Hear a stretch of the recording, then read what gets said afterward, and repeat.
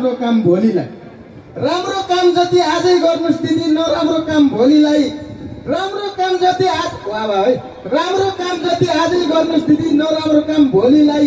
प्रदेश नम्बर पाँचको राजधानी दाङ नै बनाउनु पर्छ भनेर आशीर्वाद दिन्छु कोमल ओलीलाई दिदी ठाउँमा पुग्नु भएको छ। हाम्रो लागि एकदम खुसीको कुरा हो। अवश्य पनि यो कुरालाई मध्यनजर गरेर मैले भने मैले दिएको आशीर्वाद लागोस् दिदी। हस् धन्यवाद दिदी।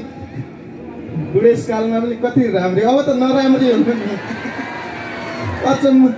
अब खासमा चाहिँ नि म यहाँ दाङमा चाहिँ गर्लफ्रेन्ड खोज्दै आएको। घरमा चाहिँ नि श्रीमतीले कि मलाई छोड कि गर्लफ्रेन्ड छोड भने।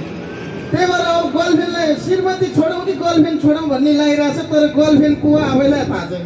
ए साँच्चै कार्यक्रम चलाउने हुनुहुन्थ्यो अघि। ट्रेन कहाँ जानु? एकैछिन आइदिनु। ए हराउनु। आउनु आउनु एकैछिन उहाँलाई म प्रपोज गर्न चाहन्छु संसारमा सबैभन्दा नराम्री हजुर लाग्यो मलाई चाहिँ राम्रो मान्छेलाई त जहिले पनि प्रपोज गर्छ नराम्रो मान्छेलाई म प्रपोज गर्न चाहन्छु आई लभ यु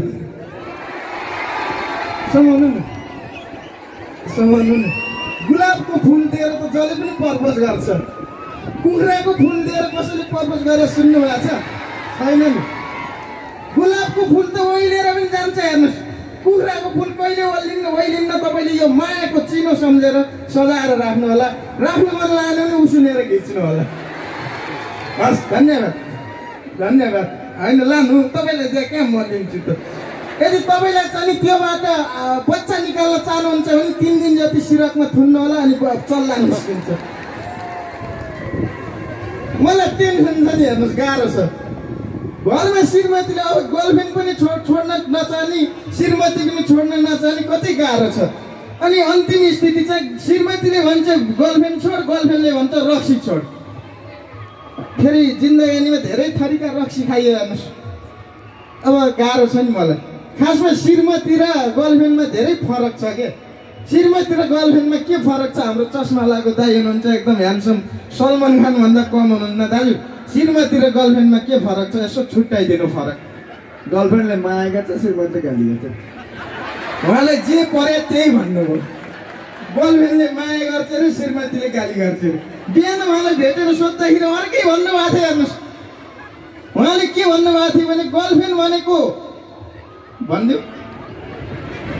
श्रीमती भनेको ल्यान्डलाइन फोन हो अरे गर्लफ्रेन्ड भनेको मोबाइल फोन हो अरे। ल्यान्डलाइन फोन जहाँ पनि लान मिल्दैन। मोबाइल फोन चाहिँ नि गोजीमा हाले पनि भयो टोइलेट जाँदा चट्ट झिकेर।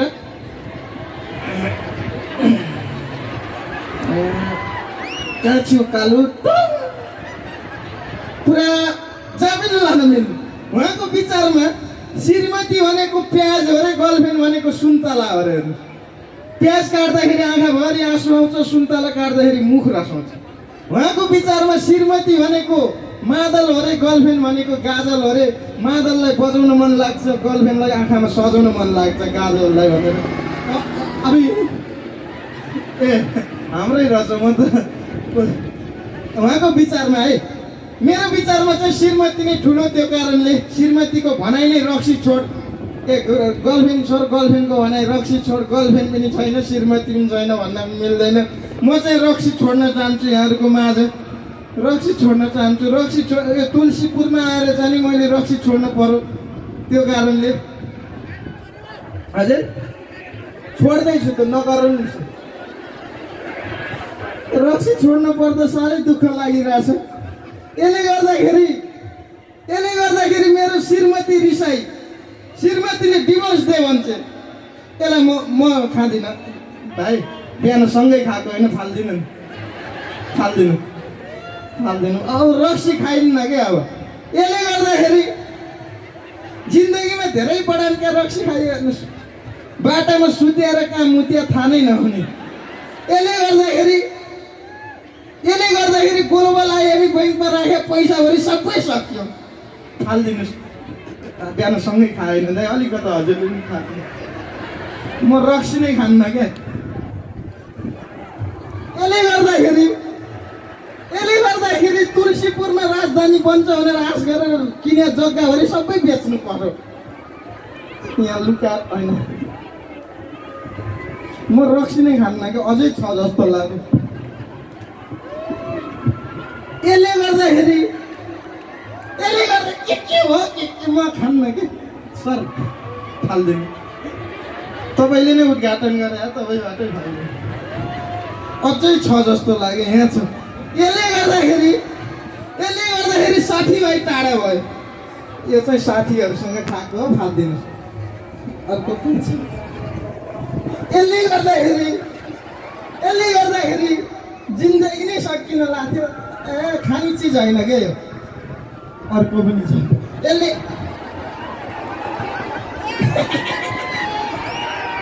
यसले त केही पनि गरेर छैन यो त मेरो मुटु हो। यो त मेरो कलेजो हो। यो त मेरो फोक्सो मुटु माग्यो मुटु दिएँ फोक्सो माग्यो फोक्सो दिएँ माग्यो आन्द्रा भुँडी दिएँ। के के भन्थ्यो बिर्सिहाल्यो यसले त केही पनि गरेको छैन। छोडे उपलक्ष्यमा खाइदिउँ कि क्या? खाउँ कि नखाउँ? फेरि यो रक्सी भन्ने चिजै यस यस्तो क्या यो रक्सीमा चाहिँ माया प्रेम सबै लुकिया हुन्छ भन्छन्। फेरि प्रेम व्यवस्था एकछिन आइदिनु त म हजुरलाई बोलाउन चाहन्छु। एकैछिन त्यो माया र प्रेममा चाहिँ के फरक छ? दाजुले छुट्याइदिनु पऱ्यो दाजुलाई त थाहा छ नि। अब प्रेमको परिभाषा त म आफै प्रेम हो। मायालाई खोज्नु पर्छ। सोध्नुपर्छ गलत। आउनु यो सबैलाई भन्ने चिज होइन। हजुरको कानमा सुटुक्क। अलि माया र प्रेममा के फरक छ भने मायाले बसेर मुक्छ प्रेमले उठेर मुक्छ होइन दाजु। दे। दे, है, बेलुका दे। बेलुका खास अ, छोडिदिइसकेँ हजुर हँ नगर नि तपाईँ खास छोडिदिइसकेँ अब खासमा चाहिँ नि म यहाँ किन आएको भन्नुहुन्छ भने अब रक्सी पनि छोड्यो अघि मैले आफैले आफैलाई अ, स्वर नभएको गायक अभिनय गर्न नजाने नायक भने खासमा आफैले आफैलाई स्वर नभएको गायक भन्नुको कारण चाहिँ के भन्नुहुन्छ भन्दाखेरि म सुरुमा जन्मिने बित्तिकै म फेरि हेर्नुहोस् जन्मिँदैको ट्यालेन्ट के? जब अरू जन्मिँदा चाहिँ रोएर रुँदै जन्मिन्छन्। म जन्मिँदा चाहिँ पुरै अर्डर गरेर जन्मेछु हेर्नुहोस्। बिस्कुट अर्डर। अरू रोएर जन्मिने मान्छे म चाहिँ बिस्कुट अर्डर गर्दै जन्मेछु। जब म पाँच वर्ष हुँदाखेरि मेरी आमाले मलाई बाबु अब स्कुल पढ्न पर्छ स्कुल पढ्न हिँड भन्दाखेरि म पढ्न जान्न आमा घरमै बिस्कुट ल्याइदिनुहोस् म बिस्कुट खाएर पढ्छु भनेको। मेरी आमाले मलाई मन्टाउँदै लगेर मन्टेश्वरीमा भर्ना गरिदिनु भयो अनि त्यसपछि अब अनि मेरा बाले पाँच वर्ष हुँदाखेरि मेरा बाले भन्नुभयो बाबु अब त पढ्नुपर्छ तैँले धेरै पढेर प्लस ल्याउनु पर्छ भन्नुभयो। म पनि के कम बाउले भने भन्दा धेरै लिएर देखाइदिन्छु भनेर इक्जाममा यति लेखेँ यति लेखेँ लास्ट टाइम त जेट प्लस आइदिएछ हेर्नु।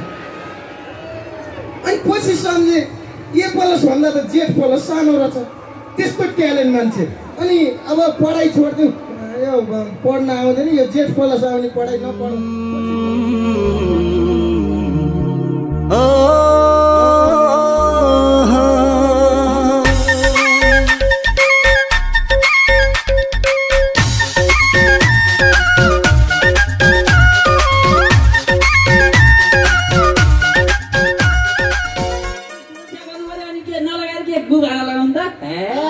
ठिकै छ ठिकै छ दाइ। अब यो बारेमा चाहिँ म अलि समाधान भयो मेरो समस्या। अब यहाँ चाहिँ अर्को के समस्या आइपुग्यो भन्दाखेरि। यो आजकल मैले अलिक फेसन त्यो देखिरहेको हुन्छु कि? अब केटीहरूको यहाँ पनि ह्वाङ्ग है यहाँ पनि ह्वाङ्ग। यो चाहिँ के भएर हो रहेछ ए अब केटीहरूको यहाँ वाङ्ग यहाँ वाङ्ग हुन्छ नि। अब अरू ठाउँमा सब ठाउँ खेती भइसक्यो। यहाँ अलिक मलिलो हुन्छ होला कि? त्यही भएर खेती गर्न यहाँ वाङ्ग छोड्दैन होला के? अच्छा त्यो तरिका अनि त होइन त अर्को मलाई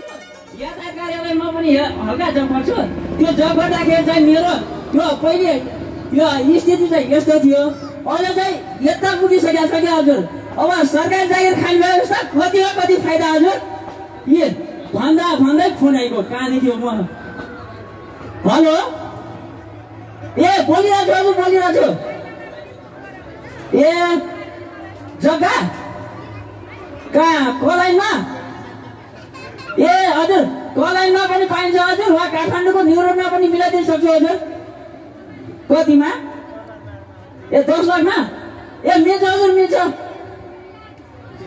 कति मिल्छ? अब धेरै त भन्दैन त्यो के अरे हरिसको डिब्बा ल्याउनु त्यो डिब्बामा लिएर जान्छ नि त। अनि दस लाखमा कति पाउनुहुन्छ त गाँठे ए मलाई यति धेरै कुरा गर्ने फुर्सद छैन। हजुर ल राखेँ। कस्ता कस्ता मान्छे हुन्छ ल अब दस लाखमा कलाइमा अथवा उहाँ काठमाडौँको न्यु रोडमा जग्गा हजुर। यति महँगीको बेला। अब अरू कुरा के गर्नु हजुर है? अब आज चाहिँ मैले एउटा थोरै कुरा छोडेर लाग्छु के कुरा भन्नु छ भने अब हाम्रो देशको स्थिति के? अब के भन्नु? यो बलात्कारको घटना भन्छ नि हजुर। अब तपाईँले पनि देखिहाल्नुभयो यो केटा र केटी बिच कुरो मिल्दासम्म बलात्कार कुरो बिग्रे बलात्कार हुँदो रहेछ क्या हजुर। अब देखिहाल्नु महाराजीको काण्ड। अब एघार बाह्र वर्षसम्म सँगै समय बिताउने त्यति बेलासम्म केही नहुने हेर्नुहोस् है। अब जब केटा केटीको कुरा बिग्रियो नि त्यसपछि बलात्कारको काण्ड भने के हो कि हेर्नुहोस् त। ए फेरि फोन आयो। हेलो?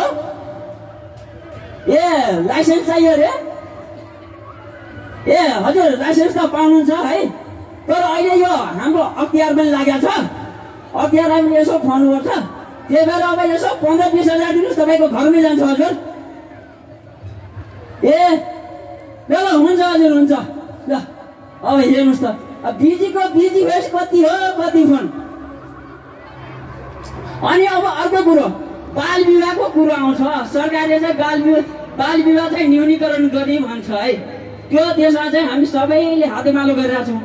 तर एउटा कुरा के हजुर अब यहाँ बुढी आमाहरू पनि आउनु छ है। यो विवाह भने चाहिँ परापूर्वदेखि परापूर्व कालदेखि चलिआएको चलन। होइन त आमै? अब चलिआएको चलन हो। तर अब ल भन्नुहोस् त तपाईँको बिहे कति वर्षमा भयो?